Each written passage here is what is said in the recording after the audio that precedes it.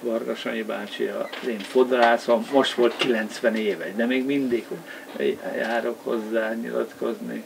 Rudolf László, a Bátaszéki Értéktár Bizottság elnöke éppen egy 1992-es felvételt mutat, az akkor 850 éves Bátaszék városi ünnepségét a számítógépen. Ez a videóanyag egy VHS kazettáról lett digitalizálva. A digitális archívum létrehozásának ötlete Pomsár Tamástól származik, a munkát is ő végezte, két évvel ezelőtt kezdte, mondja Rudolf László, miután az önkormányzathoz benyújtott pályázatokon támogatást nyertek a digitalizálásra.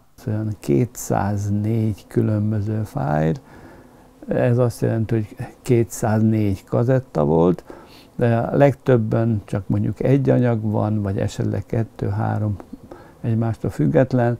Eleinte a Cikádor magazinnak a anyagait is eh, így külön kazettákra mentették, de végén már volt olyan, hogy két-három adás anyaga került egy-egy kazettára, és akkor ezek a kazetták eh, sokszor egy-két-három órás hosszúak is.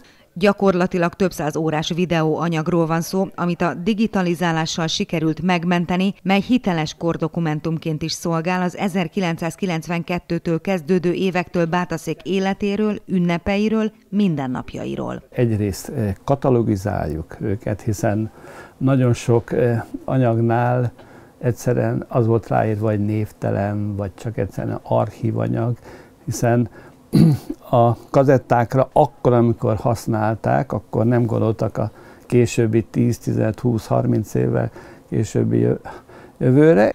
A katalogizálás után a helyi értéktárbizottság közkincsé kívánja tenni az anyagot, melyet a terveik szerint akár a település honlapjáról is elérhet majd bárki.